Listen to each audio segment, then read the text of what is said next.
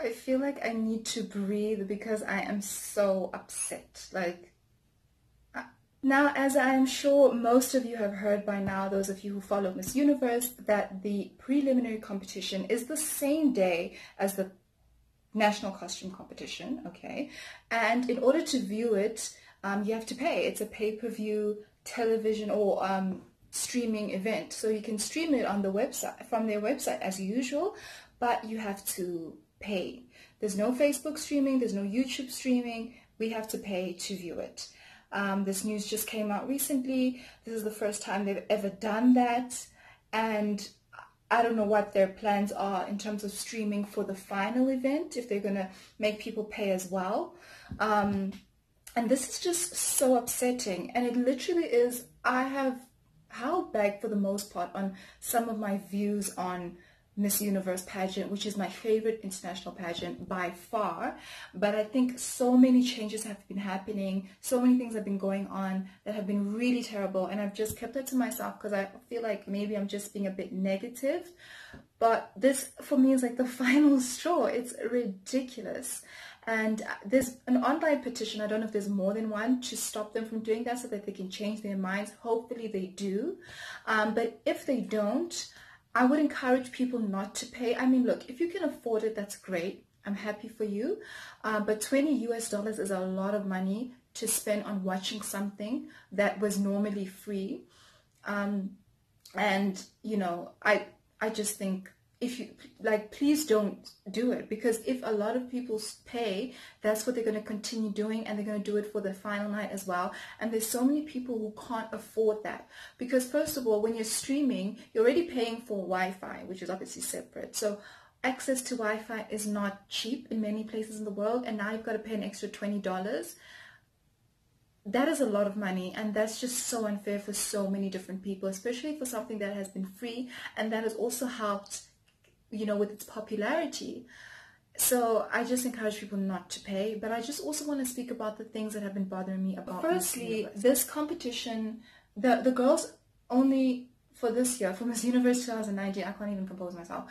They are only in Atlanta for 10 days, which is incredibly short. In past years, it's been like just under three weeks. They spend like the first week having events, going out, having fun, enjoying the city. Like if they're in Las Vegas, they'll be going out, they'll be having fun, photo shoots, it's so playful. And then, you know, the second week they start to, you know, it starts to get serious. They have rehearsals, a long time to rehearse, a long time to prepare. And then we go into the interviews and the preliminary competition and the national costume competition. So it really is such a long stretch. It's such a great time. You know, we love seeing the pictures, the videos, and it's just an, I'm sure it's an amazing experience for all the contestants. Now they've condensed it to 10 days. They arrived there, they went straight into registration and fitting, which is normal.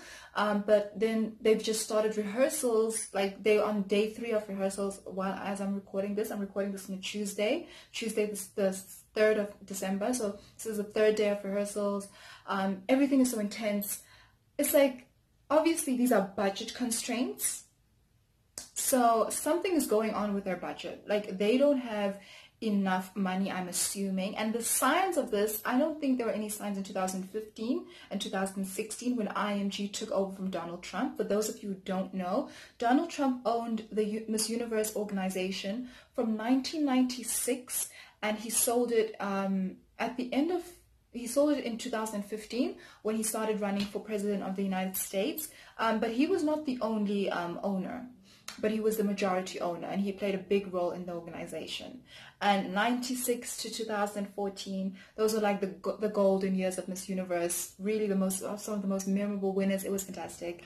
He sold it, and it's now part of IMG. Uh, it's owned by IMG. And the first Miss Universe IMG pageant was in 2015, the year Pia won, the year that big mistake happened with Steve Harvey Steve Harvey came in as host. He signed on for five years, and this is going to be his fifth year, hopefully his final year, because it's enough now. Um, 2015 seemed fine, 2016 great, it was in the Philippines, awesome. And then 2017, the competition was held in Las Vegas. That's the year that South Africa won Demi-Leigh Nel-Peters. Um, the preliminary competition, that year, the, the, the, this day, I am shocked. I'm shocked by that preliminary stage. I mean, this is Miss Universe. Miss Universe. That stage was so dingy. It looked like it was in a basement. It looked makeshift. It was so dark. It was so small. It was terrible. I mean, for like any pageant, really, I, any national pageant, I would think that's terrible. Like if it was Miss Thailand or Miss Philippines or Miss South Africa, I would say that's a terrible stage. Now for that to be Miss Universe, yes, it's not the final competition, but it is the preliminary competition. There are 90 something women from all around the world on that stage and that is the stage that you provide for them. That was beyond shocking. I, it was horrific. Like that was a horrible stage they did the national costume competition there as well. Imagine those beautiful costumes that were painstakingly made for months and months are shown off on a stage like that that doesn't do them justice. So that was a sign already. Thankfully, the final night stage was beautiful. Um, so, you know, people got over it, but I didn't get over it. I, I still, I'm in shock till this day. 2018, the show was beautiful. It was in Thailand. It was perfect, perfection. I didn't see anything wrong with it. And now this year, and they do this all the time, but it was so annoying this year because this year was even later than usual. We never find out where the competition is going to be until like maybe a month or six weeks before. It's so rushed. Um, Miss the Miss World organization is much uh, more timeliness with that. We know when it's going to be. We know where it's going to be. I still think they could be a little bit more um, forthcoming with the information, but they're better. Miss Universe is like we never know where it's gonna be, we never know when it's gonna be, and right until the end. And I think that it would be so advantageous if people knew where it was taking place and when it was taking place, at least for um, at least if we knew the exact month, is it November, is it December, is it January? Um, so just the fact that they don't seem to have their house in order. Uh, and then another thing that irritates me are the placements. 2015 was fine. They had a top 15, top 10, top 5, and then they had the top 3, which I really like. That has been, that's an IMG era thing. They have top 3, they have the final word, the last look. I think that's actually a really good thing. Um, then then 2016, they did the weirdest thing. They had the top 13, then they had a top 9, and then a top 6, and then obviously top 3. Like top 13, really? Why would they make it such a a, an odd number and why would it, and an unlucky number and so few placements. I think the more the more semi-finalists you have, the better because you're giving more people a chance and you're making it a better show. So just having 13 was weird. I know that was the year when they came out on stage in groups of three and two and it was awful. Yeah, that year was really bad. The placements were so strange. Um, and then also for me, I'm just going to be honest, I didn't like the winner, Iris. She's not bad, but I really would have thought that Haiti or or or, or Colombia would have been better. Um, I think that Thailand would have been better. I loved Chalita that year. Um, so that was strange. And then 2017 is when they began these continental divisions, which are so unfair. They are the definition of um, of unfair. Like literally, there are contestants who did not qualify to be in the top 16 because they were not high enough in their region. They may have scored more than someone else in another region, but there has to be four from Europe because that, that year was four from each region. So there has to be four from Africa, Asia, Pacific, four from Europe, and then four from the Americas, and then four wild cards. That was a crazy concept. They did it again in 2018, but now they increased it to five. And I was very happy with having a top 20 because the more semifinals, the better. And I think 20 is a great number. Shouldn't be more than that. Maybe it could be. Maybe it could be 25. I don't know. But 20 is good. I, I like that. But I don't. I didn't like the continental divisions. Um, it seems like those are gone this year, but we can never be too sure, really. I mean, I feel like we'll only be sure like the preliminary night not that we'll be able to watch anyway, uh, at least most of us. So yeah, see, but it seems like they've gotten rid of the top 20, the you know continent, continental divisions, and they're just gonna have a top 20. We're hearing all sorts of reports that it's top 20, then it goes straight to top six. I don't, I don't even know what to think about those, and I don't know where people are getting their information.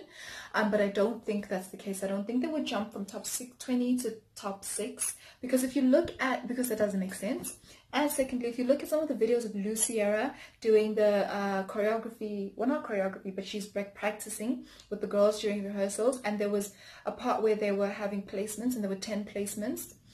Um, so that's a hint that there is probably going to be a top 10 for evening gown as usual. So that would be fantastic. And I hope they do it different from last year. Last year they went from, straight from a top 20 to a top 10. Um, I wish they had a top 20 swimsuit and then they cut it down to top 10, but that's just a minor detail. And so now they we they're asking us to pay to watch the preliminary competition.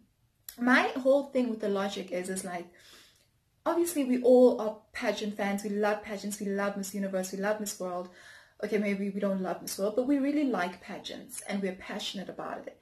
But generally in the world, passions are very unpopular and people see them as sexist and as backward and as anti-feminist. So they really are unpopular. The only reason why these pageants are still alive is because people like us watch these pageants, we support the pageants, we buy tickets to go watch them live, we talk about them on YouTube, on social media. We are keeping these pageants alive. So why would you be hostile to the last few people on earth who still care about your pageants, who still care about what happens and who are passionate? Why do you not listen to what we have to say? Why do you not listen to our concerns and try to accommodate us? And to be so selfish and to be like, okay, we're going to milk these people for all that they're worth. We're trying to make as much money as possible um, maybe you should go to Donald Trump and ask him for advice on how to make this organization profitable. Maybe you should find other ways to make it profitable. Maybe you should get more interesting winners. Maybe you should get more interesting placements. Maybe you should listen to the fans and listen to what we want so that you can maintain relevancy instead of trying to make us or trying to isolate us and milk us for every single penny that you can find because this is what they're doing. They obviously are running low on funds and they're like, okay, how can we make people pay? So we're making people pay to vote if they want to vote more than once. We're making people pay to watch the freaking preliminary competition and the national uh, costume competition. That is ridiculous. It is absurd and it is so capitalist, but in the most um, negative way. Um, okay, what do you guys think?